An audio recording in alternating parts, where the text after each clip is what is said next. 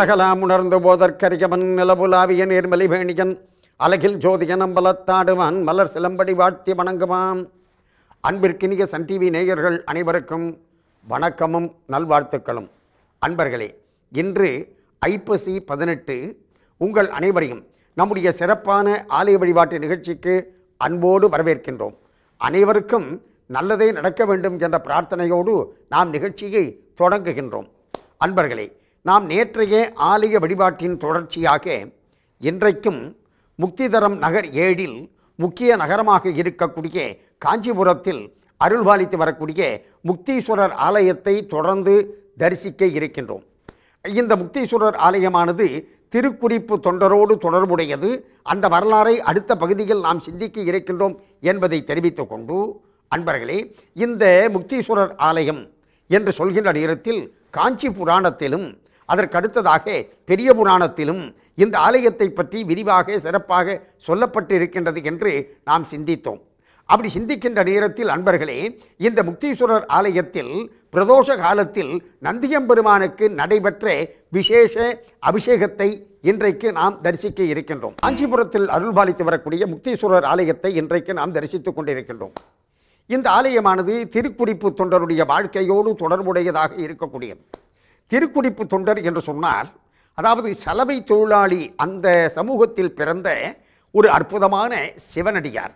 இந்த சிவனடியார் இருக்கின்றாரே எப்படிப்பட்ட ஒரு தொழிலை மேற்கொண்டிருந்தார்? தொழில் என்று சொல்லக்கூடாது தவறு.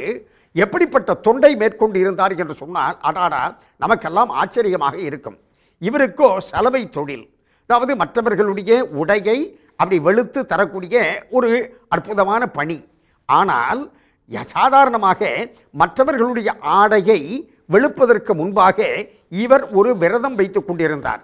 என்ன என்று சொன்னால் ஏதாவது ஒரு சிவனடியாருடைய ஆடையை துவைத்து அதில் இருக்கக்கூடிய மாசு நீக்கி தன்னுடைய பிறவிதோறும் வரக்கூடிய மாசை போக்கிக் கொள்ள வேண்டும் என்பதற்காக அப்படி ஒரு சிறப்பான விரதத்தை மேற்கொண்டு அதை செயல்படுத்தி கொண்டிருந்தார். இப்படி அந்த அடியவர்களுடைய உள்ளத்தில் இருக்கக்கூடிய குறிப்பை உணர்ந்து இவர் செயல்படுவதன் காரணமாக இவர் திருக்குறிப்பு தொண்டர் என்று அப்படி கொண்டாடப்படுகின்றார் அறுபத்தி மூன்று நாயன்மார்கள் வரிசையில்.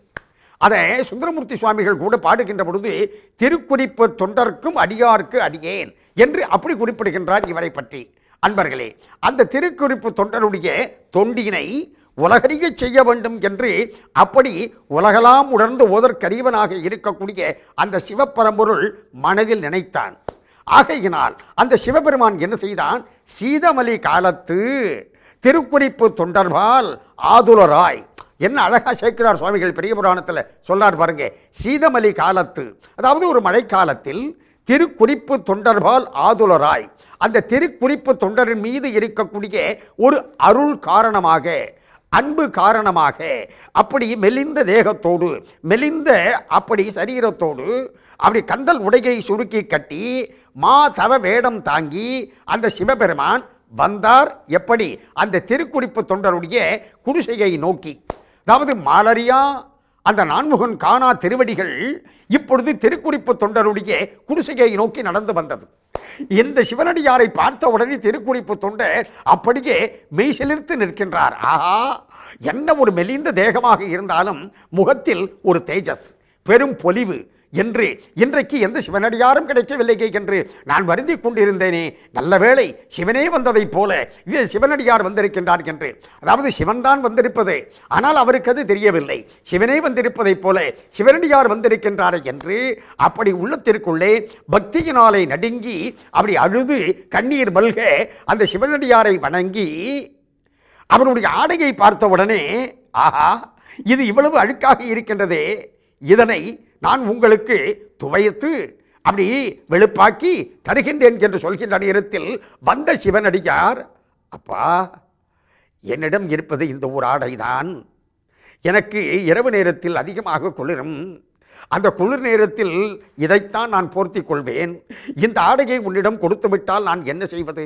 நான் மாலை மயங்குவதற்குள் அதாவது இரவு வருவதற்குள் இந்த ஆடையை துவைத்து இறையருளால் தங்களிடம் தருகின்றேன் என்று அப்படி திருக்குறிப்பு தொண்டர் சொல்ல இந்த வந்த சிவனடியார் யார் சிவபெருமான் தன்னுடைய ஆடையை கழற்றி அப்படி இவரிடம் கொடுத்து அவர் கௌபீனத்துடன் தன்னுடைய அதாவது திருக்குறிப்பு தொண்டருடைய குடிசையிலேயே அமர்ந்து கொண்டிருக்க. திருக்குறிப்பு தொண்டர் நேராக அவர் எப்பொழுதும் செலவை தொழில் செய்யக்கூடிய திருக்குளத்திற்கு சென்று அப்படி இந்த கந்தல் ஆடையை யார்? வந்த சிவனடியாருடைய ஆடையை துவைக்க தொடங்கினார். அதாவது வெள்ளாவையில் வைத்து அந்த முறைப்படி அதனை துவைக்க தொடங்கினார். அப்படி துவைத்து அப்படி முடிக்கின்ற நேரத்தில் அனல் கக்கிய வானத்தில் கார் மேகம் சூழ்ந்தது.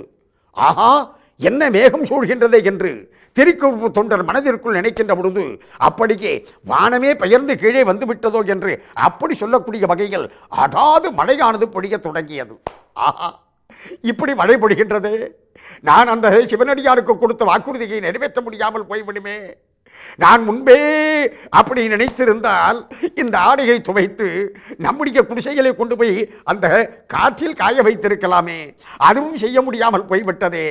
இப்பொழுது எறும்பு வந்து விடுமே. அந்த சிவனையார் குளிரில் நடுங்குவாரே என்று அப்படி திருக்குறிப்பு தொண்டர் அப்படி தன்னுடைய மனதிற்குள் மிகப்பெரிய போராட்டமாக அப்படி சிந்தித்து அழுது புலம்பிக் கொண்டு இருக்கின்ற நேரத்தில் அப்படி மாலை நேரமானது நெருங்கிக் கொண்டே வருகின்ற பொழுது ஆஹா நான் வாக்கு தவறிவிட்டேன். நான் எப்படி அந்த சிவனடியாருக்கு சென்று இந்த ஈர ஆடையை கொடுப்பேன்? நான் செய்த ஊழ்வினை பயன் இதுதான் என்றார். நான் இருப்பதை விட இறப்பதை மேல் என்று அவர் எந்த துணி துவைத்தாரோ அந்த கல்லிலேயே தன்னுடைய தலையை கொண்டு போய் மோதி உயிர்விட வேண்டும் என்று அப்படி மோதுவதற்காக அந்த தலையை கொண்டு போய் அந்த கல் மீது வைத்தார். ஒரு அற்புதமான கரம் வந்து அங்கே தடுத்தது. அப்படி தடுத்து அசரீதியாக குரல் எழுப்பியது. திருக்குறிப்பு தொண்டரே உம்முடைய தொண்டை ஊர் உலகறிய செய்ய வேண்டும் என்பதற்காகவே நாம் இந்த திருவிளையாடலை நடத்தினோம் என்று அப்படி குரல் வந்தது. குரல் வந்தது என்று மேலே பார்க்க அப்படி விடை வாகனத்தில் அதாவது ரிஷப வாகனத்தில். அதனால தான் நாம் இன்றைக்கு நந்தியம்பெருமானை தரிசித்தோம். அந்த ரிஷப வாகனத்தில் அப்படியே அம்பாளோடு சிவபெருமான் காட்சி கொடுத்தார். அன்பர்களே இதிலும் ஒரு தத்துவம் இருக்கின்றது. என்ன என்பதை நாம் நிறைவு பகுதியில் பார்ப்போம். இப்பொழுது ஆலயத்தை தரிசி இன்றைக்கு முக்தீஸ்வரர் ஆலயத்தை நாம் தரிசித்து கொண்டு இருக்கின்றோம் அப்படி காஞ்சிபுரத்தில் அற்புதமாக ஆலயம் கொண்டு இருக்கக்கூடிய முக்தீஸ்வரர் ஆலயம் ஏராளமான சிறப்புகளை உடையதாக இருக்கின்றது. இங்கு ஏராளமான சன்னதிகள் அமைந்திருக்கின்றன என்று பார்க்கின்ற பொழுது எல்லா ஆலயத்தில் இருப்பதைப் போல சிவாலயத்தில் விநாயகப் பெருமானுக்கு முருகப்பெருமானுக்கு தட்சிணாமூர்த்திக்கு என்றெல்லாம் சன்னதியானது அமைந்திருக்கின்றது. இருந்தாலும் இந்த ஆலயத்தில் கருடேஸ்வரர் என்று கருடீஸ்வரர் என்றும் குறிப்பிடுகின்றார்கள் கருடேஸ்வரர் என்றும் குறிப்பிடுகின்றார்கள். அது என்ன சார்? கருட ஈஸ்வரர் கருடேஸ்வரர் என்று அதாவது கருடன் இந்த ஈஸ்வரனை வணங்கி அவன் அருளை பெற்றாராம். ஆகையினாலே இந்த ஆலயத்தினுடைய ஸ்தல வரலாற்றின் அடிப்படையில் அப்படி கருடன் வணங்கிய காரணத்தினாலே இவர் கருடேஸ்வரர் என்று அப்படி கொண்டாடப்படுகின்றார். அதாவது கருட பகவான் தன்னுடைய தாய் சுபர்ணையனுடைய அப்படி அவளுடைய அடிமை தலையை நீக்குவதற்காக இந்த ஈஸ்வரனை வணங்கி அருள் பெற்றான் என்பது இந்த ஆலயத்தினுடைய ஸ்தல வரலாறாக விளங்குகின்றது. ஆகையினால் இவர் கருடேஸ்வரர் என்று அப்படி கொண்டாடப்படுகின்றார். அப்படி நம்ம பிரகாரத்தில் கருடேஸ்வரரை மேற்கு பக்கத்தில் தரிசனம் செய்துவிட்டு அப்படியே நவக்கிரக சன்னதிக்கு வருவதற்காக வருகின்றோம். அப்படி வர்றப்போ பார்த்தீங்கன்னு சொன்னாக்க தனியாக அப்படி சனீஸ்வர பகவானுக்கு இங்கு சன்னதியானது அமைந்திருக்கின்றது. அப்படி தனியாக இருக்கக்கூடிய சனீஸ்வர பகவான் எப்படி இருக்கின்றார் என்று சொன்னால் காகை வாகனத்தின் மீது அமர்ந்த திருக்கோலத்தில் இது ஒரு விசேஷமான சிறப்பு. அதற்கடுத்ததாக அன்பர்களே நவக்கிரக சன்னதியில் பார்த்தீங்கன்னு சொன்னாக்க எல்லா ஆலயத்தில் இருப்பதைப் போலத்தான் நவக்கிரகங்கள் அமைந்திருக்கின்றன. ஆனால் இங்கு அந்த நவக்கிரகத்தினுடைய பீடத்தை பார்த்தோம் என்று சொன்னால் சக்கர வடிவில் அமைந்திருக்கின்றது. அதற்கடுத்ததாக அன்பர்களே இந்த திருக்குறிப்பு தொண்டரோடு தொடர்புடையதாக இருக்கக்கூடிய இந்த ஆலயத்தில் நாம் இன்றைக்கு இந்த முக்தீஸ்வரரை தரிசித்தோம் அல்லவா? அந்த திருக்குறிப்பு தொண்டருக்கு இறைவன் சோதனை செய்வதற்காக வந்தான். அந்த வகையில் இந்த ஆலயத்திலும் அன்பர்களே இந்த முக்தீஸ்வரர் அப்படி அந்த திருக்குறிப்பு தொண்டருக்கு அருள் செய்தார். அதாவது சிவபெருமான் அம்பாளோடு விடை வாகனத்தில் அப்படி காட்சி கொடுத்தார். இந்த முக்தீஸ்வரர் ஆலயத்தில் சிவபெருமான் சொர்ண ரேகையோடு இருக்கின்றார்.